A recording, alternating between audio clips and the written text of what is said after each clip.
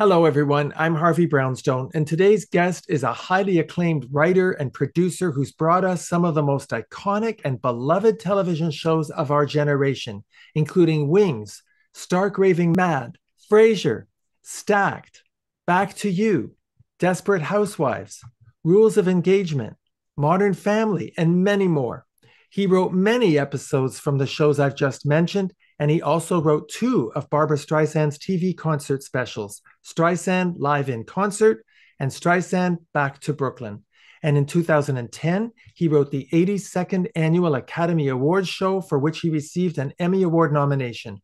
The list of accolades and awards this man has received is truly jaw dropping. For his work on Frasier, he won an Emmy Award for Best Comedy Series. And for his work during 10 seasons of Modern Family, he won five Emmy Awards, including one for Outstanding Script, three Writers Guild Awards, three Producers Guild Awards, an American Comedy Award, and a Golden Globe Award for Best Comedy Series. He's currently the co creator and executive producer of a wonderful series called Uncoupled, starring Neil Patrick Harris, now going into its second season on Showtime. I'm delighted to welcome Jeffrey Richman to our show. Jeff, thanks so much for being here. Thank you for having me. I want to start by asking you about Jeff Richman, the comedy writer. You have a knack for tapping into the funny aspects of life that everybody can relate to. What drives your sense of humor? Boy, that's an interesting question. I think all comedy writers have a certain amount of, I don't want to say pain, but come with a certain amount of baggage. That's why you don't see a lot of gorgeous comedy writers. I think in order to develop a funny bone, a sense of humor, there there probably has to be adversity as you're kind of growing up. And a lot of us i think pushed back against that by develop by being funny. And that kind of pushed the bullies away a little bit. So it's a coping mechanism. It's a defense mechanism but it ultimately turns into a tool that can make you very successful. Well it's you start with seeing things a certain way and then you actually learn a, a, craft. So it's two things. There are i think comedy writers who aren't that funny in real life but are very funny on the page. And certainly there are a lot of people that are hilarious in life that can't write. So you have to be able to merge i think your natural instinct of seeing things in a kind of skew funny and and understand the craft of whatever form you're writing in which in my case was for the length of my career broadcast situation comedy television. So when you were growing up i know that neil simon was a comedy giant that you looked up to were there others Yes, I, am sure there were, uh, uh, you know, Mel Brooks and and that sort of broader Neil Simon. The the the dialogue of Neil Simon was truly the. I remember being maybe 12 years old and seeing the movie of Barefoot in the Park, and I I, I just simply had never laughed that hard at a, a, a piece of entertainment, and and it was very sophisticated and I just couldn't believe how funny it was. And I recently rewatched it. It's just as funny. My husband, John Benjamin Hickey, last year directed on Broadway Sarah Jessica Parker and Matthew Broderick in Plaza Suite, which I hadn't seen. I hadn't seen the play, I think maybe ever, but even the movie. And uh, again, I was just I was just blown away by how structurally perfect his take on building a story, a comic story was. I was just, yeah, he's he's the big one. Yeah, well, he's a pretty great role model because he has intelligent humor and it's layered and it's complex and it's textured And I can see how the influence of that kind of comedy would rub off on you. But you initially started out as an actor. And if I'm not mistaken, you transitioned into becoming a writer almost accidentally. Isn't that right? It is. I was in an improvisation class in the sort of late 70s. And at that time, there were some some just beginning to be famous comedy people in the class. Uh, Robin Williams, John Ritter, Penny Marshall. They were they were just kind of starting out in their whatever. So I got to train alongside these people. And the instructor, Harvey Lembeck, who was himself an actor, got a deal to write a, a television special about the class. And it was for Showtime. And Showtime at that point, this is how long ago it was, was not a signatory of the Writers Guild. So he couldn't hire union writers. He needed non union. So he asked me and a woman who became my writing partner if we would do it. That was my first time ever writing anything.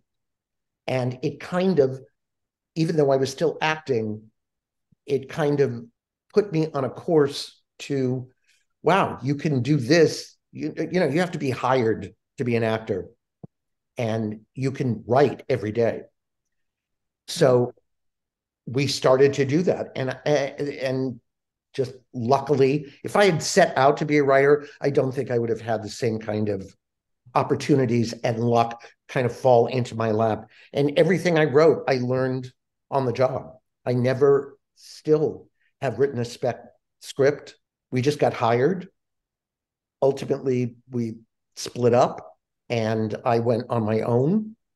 And I, I, I lucked into some pretty big hits. And I was on some dogs that lasted just a season, but I always, always worked, which is unfortunately what we are striking about now because the thing that I did for literally 40 years, which was write network sitcoms, that job is gone. That job doesn't exist anymore for writers. So, without getting all Norma Rae, middle class writers can no longer make a living at the thing that I've been doing. I can afford to do eight episodes of television and maybe a 25 year old can afford to do that. But if you're 45 and you have kids and they're going to college and you have to live in Los Angeles, it's gone. Yeah, it's so just not it's feasible. And uh, I think the public is behind you, and, and I I know that the actors are behind you, and those of us in media, and those of us in the media are very supportive if you're a coffee lover like me, it's always fun to discover a great new blend. I recently found a terrific new company, Breakfast at Dominique's, that's created a series of coffee blends to honor the legacies of the greatest Hollywood legends. And I'm thrilled to tell you that now Breakfast at Dominique's has introduced the Harvey Brownstone Talk Show Blend. It's my very own exclusive, delicious, bold, rich, balanced medium roast coffee, and I just know you're going to love it. It's made from high quality organic beans produced using fair trade practices. If you'd like a great cup of coffee, give breakfast at Dominique's a try and order the Harvey Brownstone Talk Show Blend at HollywoodBlends.com. They'll ship it right to your door anywhere in the world. Sipping our coffee is the perfect way to watch our show. Do you think that comedy writing, or maybe I should be more specific, comedic thinking. Is comedic thinking something that can be taught, or do you just have to be innately funny? Hmm. I think the craft of writing plays or films or television shows absolutely can be learned. I've known a few people who can technically craft a joke without necessarily being hilarious at a party. But I don't think you can write I don't think you can learn how to be funny at all. I, I, I think you either have the perspective of looking at something and seeing it in a comedic, you know, fashion, or you don't, or you're writing Law and Order. Can you describe the feeling of seeing an actor speaking your lines, bringing your work to life, and then seeing an audience laugh because of something you wrote? What does that feel like? Exquisite. It's well, for one thing, it's you you you sort of can't believe that it's this communication, this three-way communication. Like I thought of it, the actor took it and interpreted it their way, and that went out to the audience, and then it's coming back to me in the form of laughter. You know, when like a show like Frasier, which was done in front of a live audience, when you hear that immediacy of, of an audience laughing at something that you wrote, and now Kelsey or David Pierce or whomever is saying it, that's one unbelievably satisfying experience. And another is watching it on television when it's like Modern Family, when it's not shot in front of an audience, you can see, like when you're watching a movie, you can see that it's your intent as interpreted by the actor has landed has communicated. I mean nobody I, I i sit like an idiot and laugh at stuff that i've written as i watch it. It's it's embarrassing. It's a it, it's ridiculous but i think it's so funny. I hope you're proud of yourself when you when you see that. I'm proud of very few very few things do i look at and go that's a perfect joke. That in in in the hands of that actor modern family for me as a gay man the fact that for the first time i was writing characters that i thought that i know would have a meaningful impact on gay kids and their families that were watching this splendid group of people that the gay couple, the gay parents were telling. I mean, if I was nine or 10 years old and just starting to realize that and to know that I was going to grow up and get married and have children and be part of a bigger extended family, I, I, I just can't. And I had a pretty smooth ride. You know, I, I, I wasn't traumatized, but the fact that I was contributing to other people and and and straight parents for their children to know, oh, I don't have to worry because so many parents just worried they'll never have grandchildren, they'll never the, it'll be so hard for that child to find love in the world. That was incredibly meaningful. And then to make them funny, first of all, those every actor on that show was an all-star but Jesse and Eric, particularly, to write for them was just heaven. It's heaven. Well, that's that is for sure. And I can tell you, as a gay viewer, Frasier was always a confusing show for me because I am I one of the few people that assumed that eventually Niles would be revealed to be gay. You must have heard that from other people. Yeah, people thought that they were boyfriends. Frasier and Niles. No, there, was in no no way. He was an effete. You know, he was he was just he. The idea behind Frasier, who was a supporting character on Cheers, when you put that character who was so snobby and intellectual and loved opera and wine and women when you put him front and center in a show, there had to be somebody even more Frasier than Frasier, so that Frasier would look normal, be relatable. So that's how the character of Niles happened. And, you know, after a while, you forget. I mean, obviously, David Pierce is gay, but perfectly brilliant, gifted actor who I think in no way saw Niles as conflicted sexually. He was in love with Daphne. That's so interesting. Does your experience as an actor help you as a writer? My experience, I think, in that improv class helped me as a writer. It helped me understand, number one, how to think on my feet and be funny and come up with characters and particularly come up with lines. Plus, like I said, that class had so many all stars that when you're thrown on stage with one of those people and the class was full of them, you, you've got to swim with them or you're going to sink and in front of the class. So eh, there was a there was a great that was a great training ground and that was about two or three years I was at that class. You know, some comedy shows don't age well, so they don't have a lasting impact. For example, a lot of the skits from the variety shows in the 70s, they're just not funny now. But your shows, Jeff, are just as funny now as when they first aired.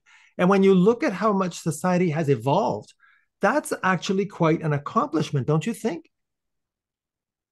Well, thank you. Some of the shows that I've written, I think, can stand the test of time. But like I said, a career is a lot of peaks and valleys. And I had some pretty, pretty deep valleys too, that, you know, that even though I never, knock wood, I never worked with a monster uh, in in terms of either a creator of a show or a star, which many people have, and which poisons the experience even of a hit. There were a lot of hits, especially in the 80s and 90s, that either the person that created it, who ran it, or the star that was the head of it made the experience toxic and terrible. I never had that, even, even on shows that were not hits, which there were many. The job was always fun. But those shows, when you're on a show that has been somehow flawed in its conception, you you you can have a, the the most all-star writing staff in the world you can't write yourself out of that flaw and so the show will fail because in its infancy in its in its creation there was something wrong with it so the relationships weren't real or the casting wasn't good something something was wrong with it and so those shows no, those shows went away. Even, I mean, Back to You had Kelsey Grammer, Patricia Heaton, Ty Burrell, Josh Gad, Fred Willard. Right. I mean, you, you, couldn't ask for a, if you were looking for funny actors.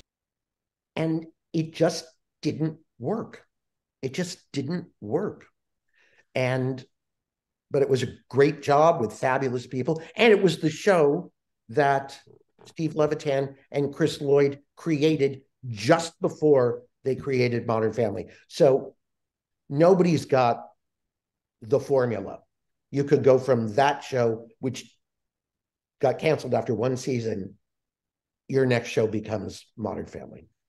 Yeah, that was just magic you know, when we had comedy writer Susan Silver on the show, I saw and that. Cast, and casting director Joel Thurm, they both talked about the challenges and pressures of coming up with scripts that would satisfy network executives, producers, sponsors, sometimes even the actors. What was the impact on you, Jeff, of not only being a writer, but in many cases also being the producer of the show? Were you protected from a lot of the scrutiny you know, nobody gives notes on a hit. And when a show is in trouble, you're noted to death. So I've been, I've had both experiences. I created a show years ago with Nathan Lane and Laurie Metcalf, where he was an openly gay uh, congressman, who a former TV star that became a congressman. Lasted one season. And even though they were very enthusiastic about it, the network, they were nervous. This was 25 years ago almost. And I got a lot of notes. And conversely, the show that Darren Star and I have recently done, Uncoupled, which is about a gay man whose partner blindsides him after 17 years and walks out of the relationship. We literally got no notes on anything. And and they were, it just wasn't even a, I mean, that's kind of how far we've come. But yeah, it's a drag to to be on a show that's struggling and try to address notes that ultimately you learn when you're been doing it a long enough time you take the note that is relevant and helpful and you never ever take a note because somebody an executive gave it to you. You ne- I, I, i'd rather take a note from you know the, the assistant from that that helps than take eh, then Im- impose that note into a script cancel the show cancel it but i'm not going to i'm not going to write that thing that i know is not helpful I love that because you're so principled and you have a vision of how you want your show to be, and you're not going to be bullied because it is a form of bullying, I think. Now, you mentioned, of course, Modern Family, such a groundbreaking series in many respects, especially the representation of the gay couple, Cameron and Mitchell. And I think it's well known that Modern Family contributed enormously to the American public's ultimate acceptance of same sex marriage because of the likability and popularity of Cam and Mitch. When you look at the feedback that you got from fans of your other shows, like Frasier, for example, which I'm sure was very positive, and you compare it to the feedback that you got about Modern Family from the public, I will bet there's no comparison in terms of how personal and emotional the impact was of Modern Family. Am I right? Well, I mean, it's kind of apples and oranges. When I was on Frasier, that was perceived as a writer's show. You yeah. Frasier had a mystique about the writing. First of all, it was scary because the bar was so high to come into that show. And frankly, the turnover on that writing staff was significant because if you didn't pull your weight, if you didn't come through with scripts, with stories, with pitches, you were gone. You were gone. So the fear factor, while it was still wonderful and won awards and people would people just loved it. Those characters were so different because for one, it was, you know, a very theatrical, multicam. It was relatable because of the, the, the relationships between the dad and the sons, but it wasn't realistic like Modern Family. We did one episode of Frasier where they went to Seattle and we filmed, you know, Frasier never went outside. It was always on sets. Well, this for the hundredth episode of the show, we went to actual Seattle and they filmed on the street.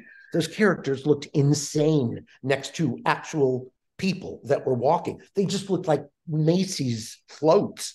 They were so big and theatrical. You couldn't put them next to like a pedestrian. they looked crazy. Modern Family filmed outside all the time because those characters were real. It wasn't a laugh track. It was, you know, if they they were funny in a in a in a much different way. But in terms of the fan reaction, wasn't the reaction to Modern Family much more emotional and personal well, by fans? Me, for me, for sure, as a gay man, yes, Modern Family it was just a phenomenon. It was also the last the last train out there aren't network sitcoms that have that kind of resonance anymore. There aren't network sitcoms that, again, that animal is just gone. And Modern Family really was the last juggernaut. Last, yeah. Well, you actually wrote 32 episodes of Modern Family, including classic episodes like the New Year's Eve episode from season four, the Valentine's Day episode from season six, the Graduates from season eight. We need to talk about Lily from season 10, and of course, part one of the finale. How much of the episodes you wrote were based on situations in your own life? That was the thing about that show that was different than pretty much I mean, you're always pulling a little bit from your life, but the writing staff of that show had to super dig into our lives to come up with stories. Almost every, I mean, not only scripts that I wrote, but stories that I contributed to came from my relationship. I mean, from experiences that I had. The the script in season two that Steve and I shared the Emmy for, Caught in the Act, where the kids walk in on Phil and Claire having sex. The other story in that is that Cam and Mitch spill something on a scary lady's rug. And they are trying to figure out how to, if they can move the rug so that the stain is under a piece of furniture. That came from literally, I spilled red wine on my friend's very expensive rug and with the help of some other people turned the rug around so that it was under a heavy piece of furniture and she never found out when i pitched that story first of all i was going should i do I reveal this? We were in such trouble. We needed a Mitch and Cam story to go alongside that that the act story. And I thought, oh, I'm gonna I'm gonna reveal this about myself. But we needed the story. And that's how all of us felt. And I pitched it. Everybody loved it, but they thought it was so unlikable that they got away with it that we changed that ending so that they, at the last minute, they told her about it, which I never did until she saw that episode on television. Well, so have you had to pay to get the stain re- re- removed? No, she moved. It was actually my friend Patti LuPone. Oh, now you know why I didn't tell her. yeah, she wouldn't be too happy.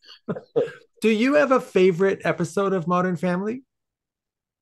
I I have a lot of I do like that New Year's Eve episode that I wrote with Abraham Higginbotham. We had a really good time writing that. I have some favorite I, I think in all of the episodes, there are some favorite moments that I have.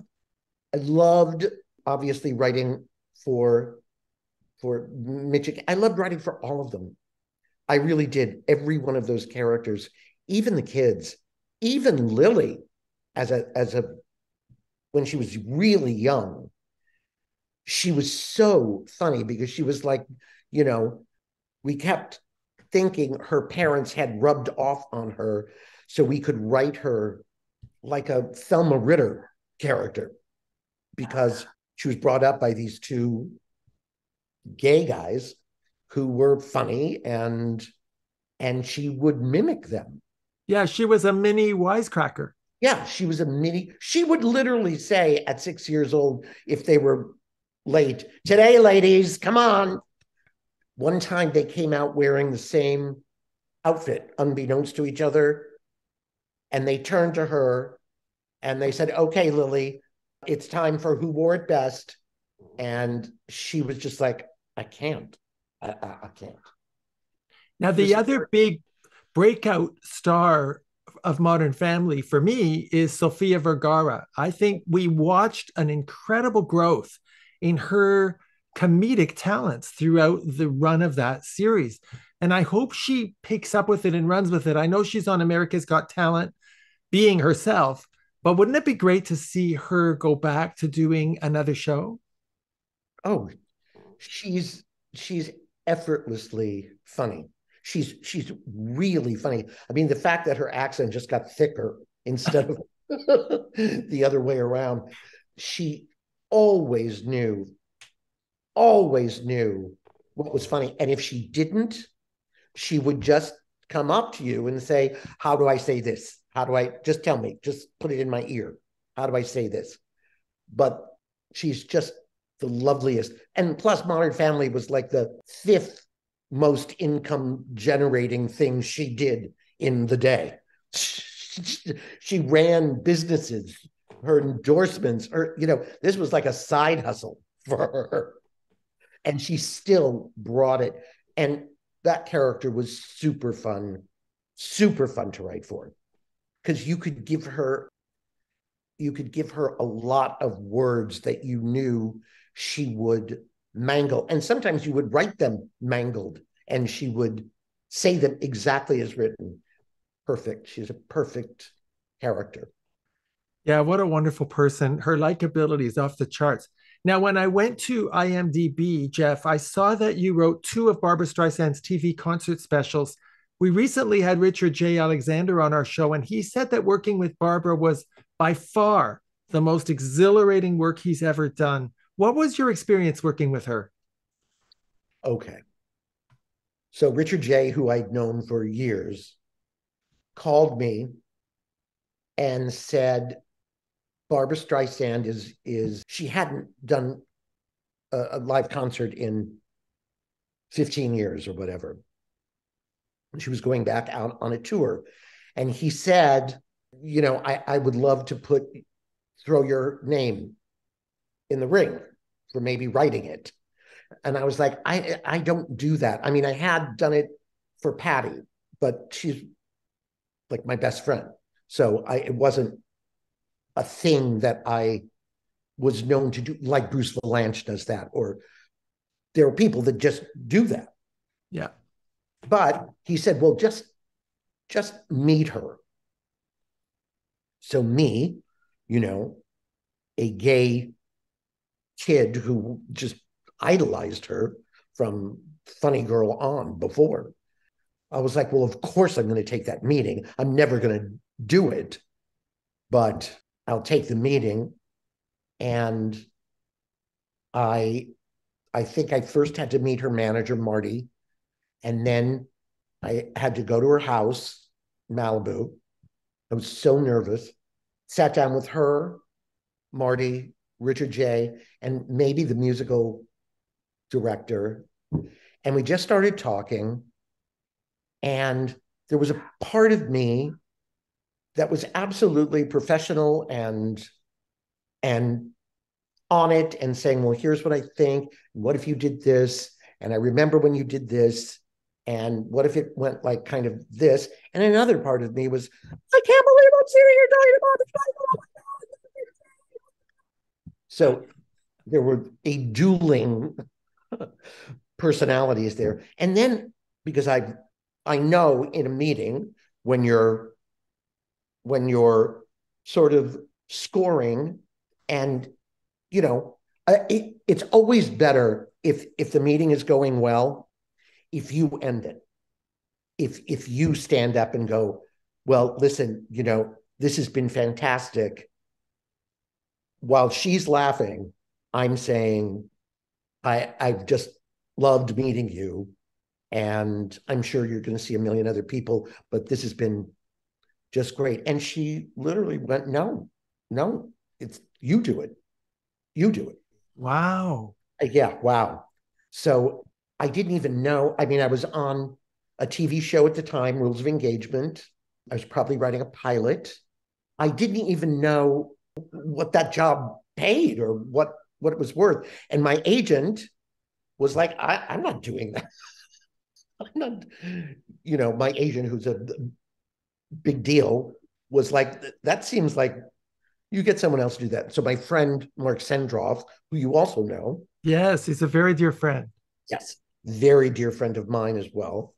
And he does those deals. So he made a really good deal for me. And I would go over after work. I would drive from the studio that I was working at to Malibu at six o'clock when I got off work. We would have dinner and then we would talk. And as you brought up about how does it feel when you communicate something funny and you hear that response, a, a huge gift was anytime I made her laugh. Wow. Anytime, because she is a really good customer. When when when it's funny for her, she'll laugh till she cries. And I mean, that didn't happen all the time, but it happened enough that we formed. It was a really, really, and then when she would do that on stage in an arena, and it would get a laugh from literally 18,000 people, that was a whole different experience. Because that's what I did. I just wrote her her dialogue. Well, I saw those concerts. I've got to say that Richard Jay has an instinct about people. He just knew you'd be right for her. It's amazing. And I got to applaud you because that part of your personality deep inside that was going, oh my God, I'm with Barbra Streisand. I can't believe that. For a lot of people, the creative side of you would have been shut down because it, it, it's so overwhelming to be with an icon like that. And you kept it together. You said, obviously, what she needed to hear and, and liked hearing. It's not just that you made her laugh, you gave her ideas and having seen both those concerts, I can see why. You know, it's intelligent humor. It reflects well on the public image she wants to project.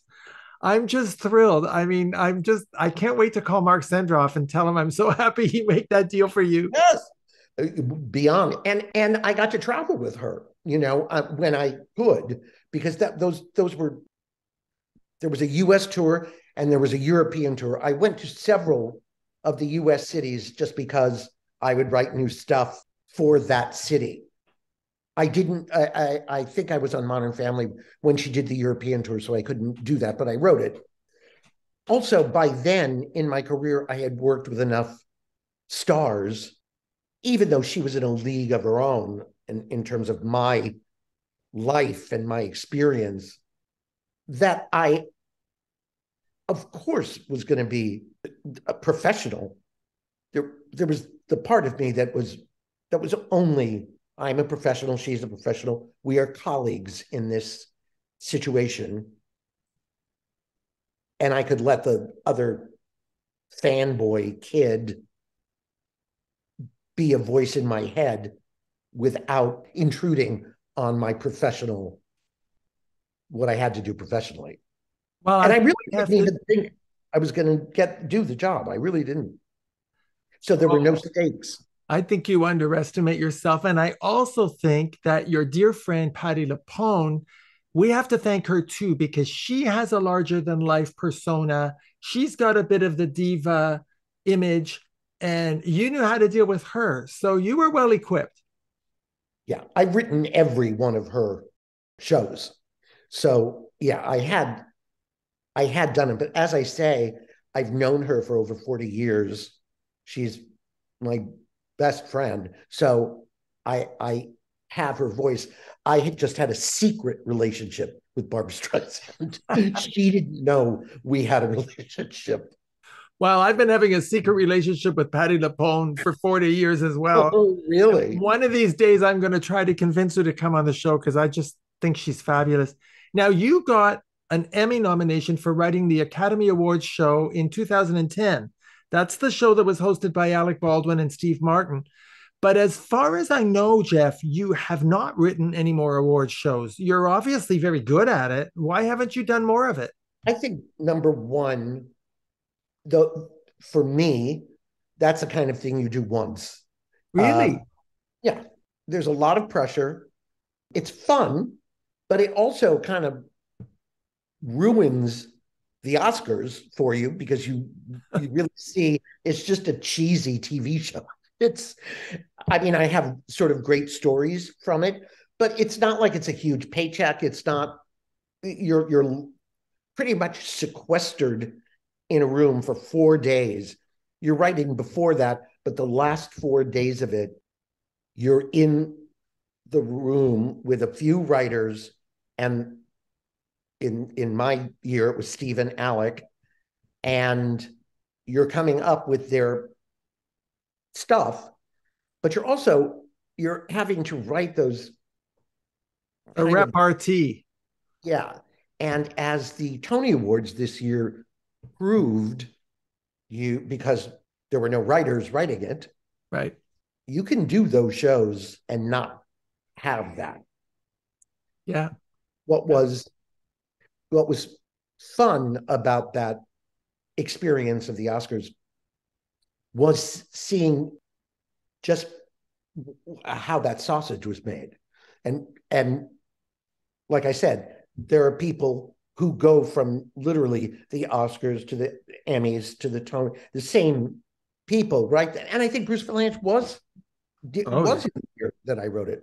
Yeah, he was on our show. He talked about it and he described it very much as you do.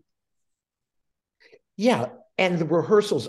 I remember, I remember the women. Well, everybody, but the women especially, have to walk the stage in the shoes that they will be wearing because the stage is always the set is raked and there's stairs and so every one of those presenters has to come in just in the shoes you know the they're a mess but they're wearing those shoes and they have a fake Oscar, and this is for timing as well.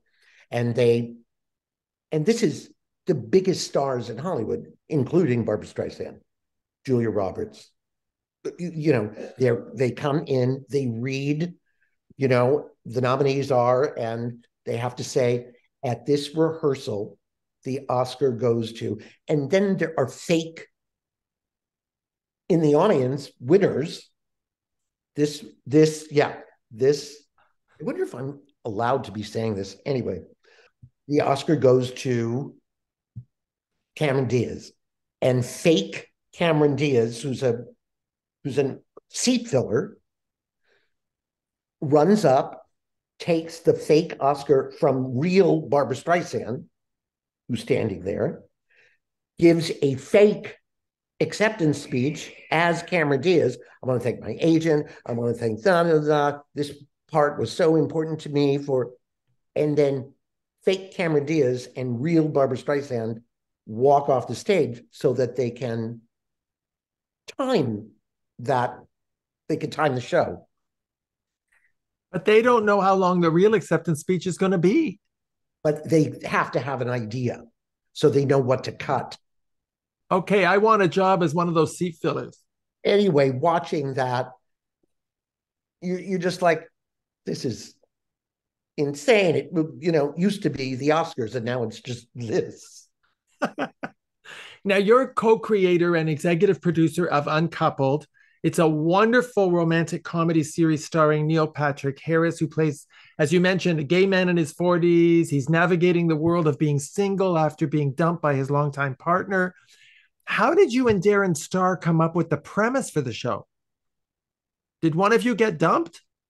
We both knew we were looking for uh, a jumping off point for a gay leading man in a romantic comedy. And we both happen to know long term couples, gay couples, long term gay couples where one of the partners secretly plotted to leave the relationship and only told the partner when they were literally out the door. Like i'm leaving. I i already know where i'm going and i don't want to talk about it. And that seemed like first of all like an like how do you get over that but it seemed like a really good jumping off point for our character we weren't going to follow the other guy it was just what is that see how do you get back you're 48 years old, you think it's done. You think it's done. Yeah. And then that happens.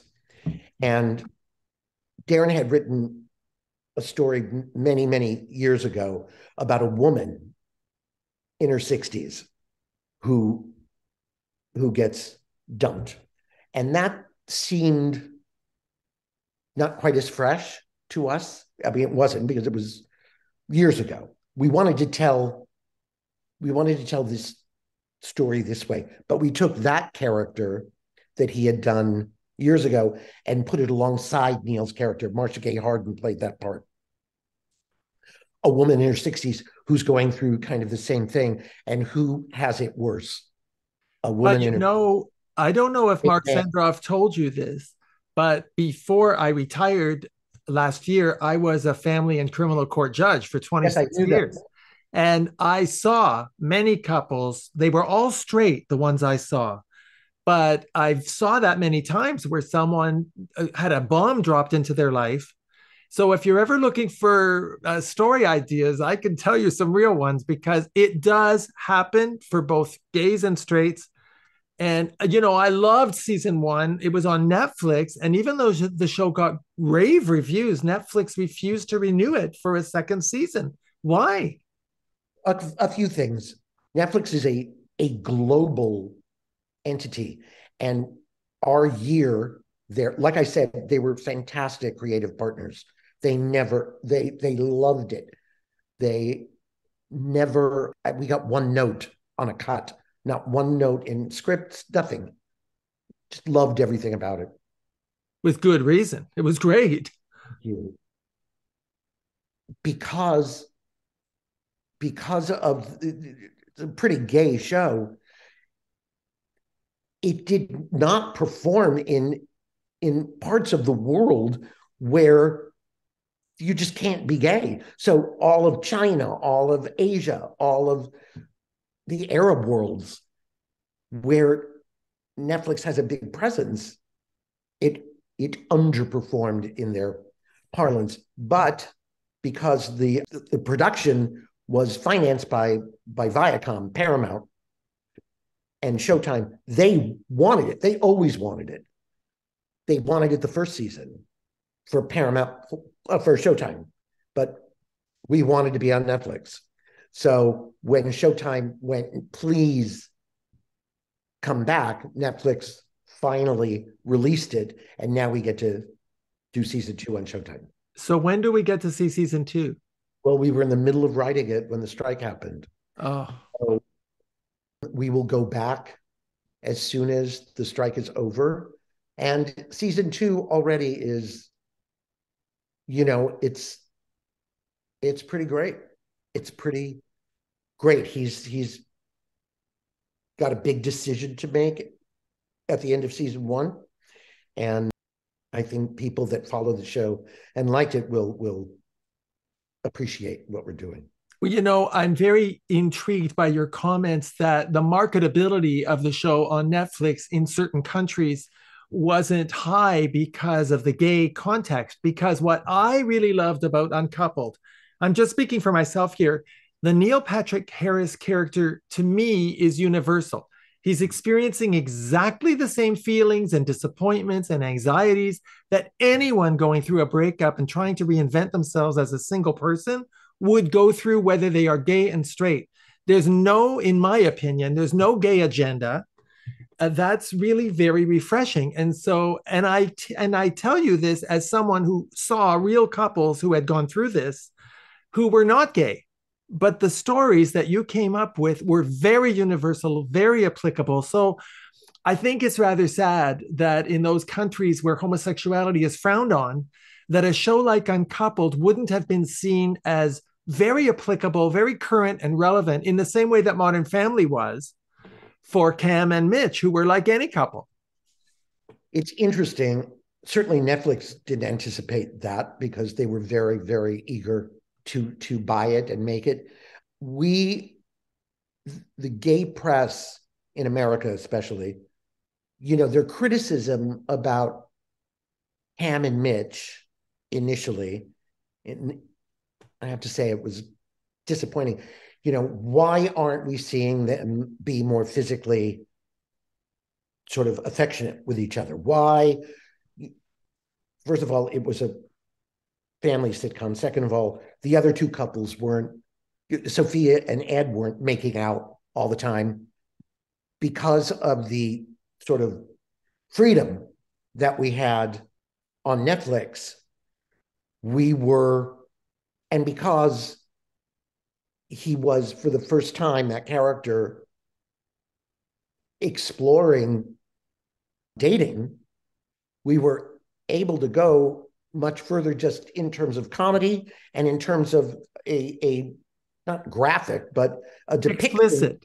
There's yeah. an explicitness to it. The scene with uh, Gilles Marini, who came on our show right after filming it, you know, I think it's it was more realistic for sure. And I think there were audiences that weren't, maybe it was that they weren't prepared for to see Neil that way, or they weren't prepared to see because you you don't see a lot of comedies where it the comedy is happening with two men in bed. And coming from Mitch and Cam, you know, Neil is sexy, and the show we and we wanted the show to be sexy, and and it still will be. But anyway, that's why it's on Showtime. Was it important to you and Darren Star that the person playing the lead be an out gay character? 100%. And that pool is pretty shallow. We would not have done the show with a straight lead. You know, in terms of casting the rest of it, we really were like the best actor is going to get the part. But the lead, as two gay creators, we knew the stories we wanted to tell. We did not want the obstacle of the audience having to imagine a straight actor because it needed also to be star. So if if you were to cast Ty Burrell in that part, you were to have to already make one more leap of imagination, and we we didn't want the audience to have to do that. We wanted to tell an authentic story, and because it was 2022 or whatever, we could do that. But as I say, if Neil turns it down, there were certainly other actors on the list, but he was always the first choice. I'm so glad about that. You know, Jeffrey, what I found fascinating about Uncoupled is that for those of us who've been in relationships a long time, I was amazed to see how much the dating world has changed since we were single. There are all these apps now, and people can use if they want to hook up with somebody, they they they use technology. I got quite an education from your show. Yeah, we did too. And I think that I mean, I've been at at that time I made his relationship the length of my relationship, which 3 years ago when we did it was 17 years. So I could picture what that would be like. That's a long time for that character to have been out of the dating world. And in that 17 years, I mean, my God, the technology has just galloped past him. I wouldn't know where to begin. And especially, well, I'm older, but you know, he's almost 50. He hasn't thought about his viability in the dating world. It was it was an interesting world to explore, and it's it continues to be interesting for us. Should we draw any significance from the fact that shows with gay lead characters like Queer as Folk and Uncoupled always seem to be on cable networks and streaming platforms rather than on the traditional major networks like ABC, NBC, CBS? Is that significant?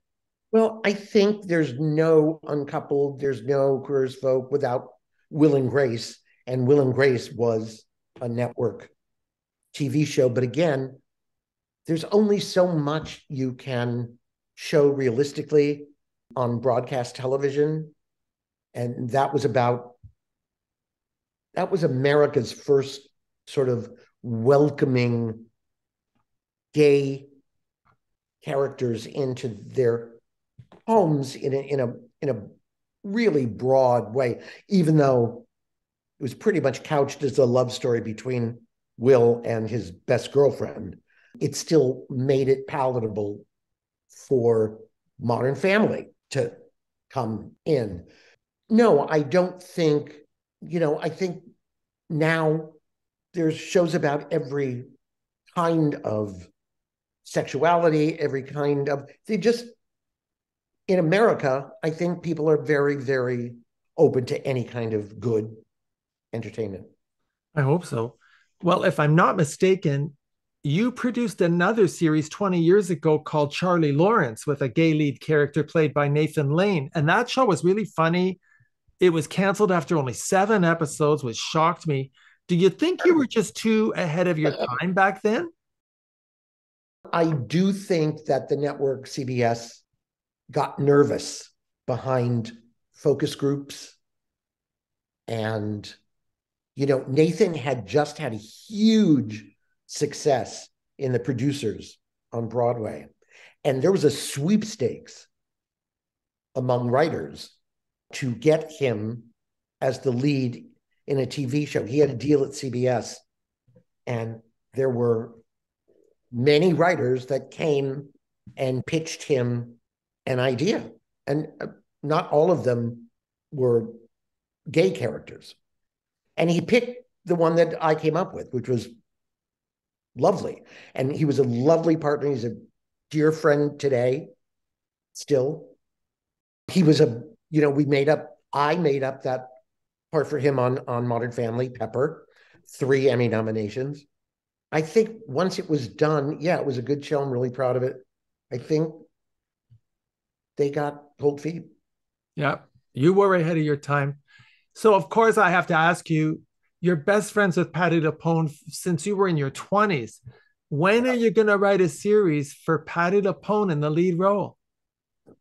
Well, we have always been, whenever I've had the opportunity to do that, she's been booked. Whenever she's been free, I've been on a TV show already. I've tried to get her. She was on Frasier. I've done a few pilots that I've worked on a few pilots that she's been in, not that I've created, but we work together all the time. I'm writing a show for her for Carnegie Hall next April. I write all of her shows. I I participated a great deal in her book, her memoir. Yeah. I wrote, we work together a lot. Well, I hope there's going to be that long running series that I envision with you creating a role for her. You know, when I look at your career, the trajectory of it, it seems clear that not only do you have a strong sense of what projects are right for you at the time, but you're very in tune with your destiny and how to manifest those projects. Does that make any sense to you?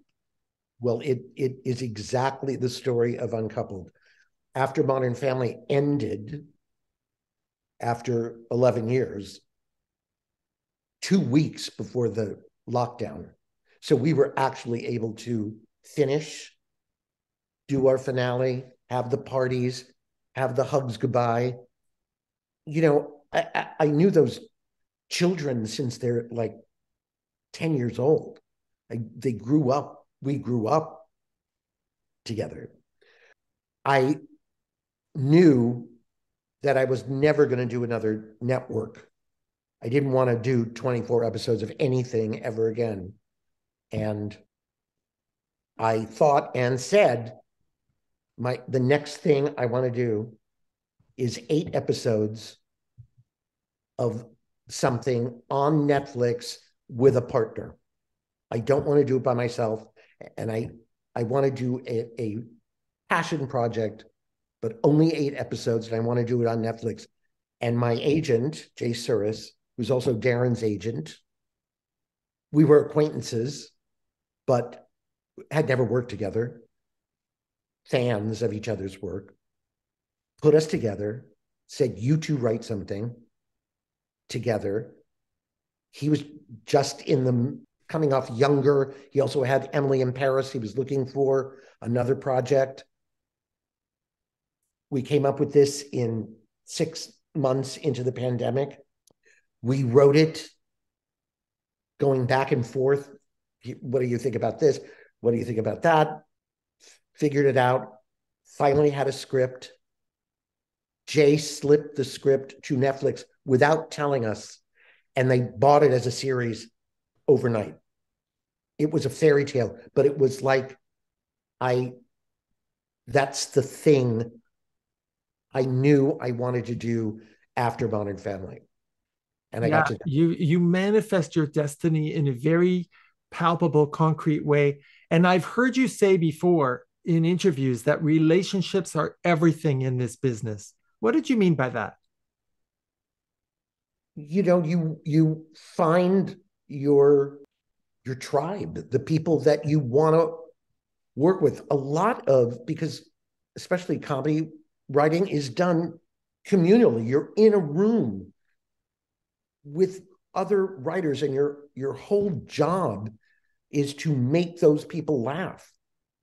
You, so you continually, hopefully, you work with the people that you reliably know are really good at their jobs and that you want to show up and be with every day. So without those relationships, it's really like all the uncoupled our uncoupled staff, you know, Darren and I handpicked from relationships that we had. You know, Abraham, Don Ruse. This year I have Suzanne Martin and and Tracy Powles. They're all people that I, I want to work with time and again because they're you there's no weak link. And often in a writer's room, there are people that do the heavy lifting, and there are other people that, like I said, on Frasier, you were gone. Modern Family, the same thing. If you didn't, Modern Family was lucky in that the first five years, especially, we were the same staff.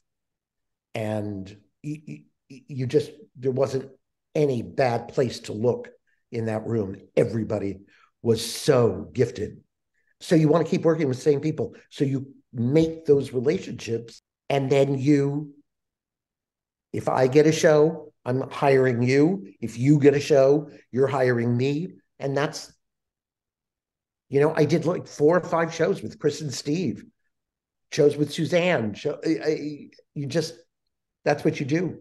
And you feel lucky. Yeah, you have a magnet in you to attract people that are like-minded. It's it's just been an enormous honor and a pleasure having you on our show, Jeff.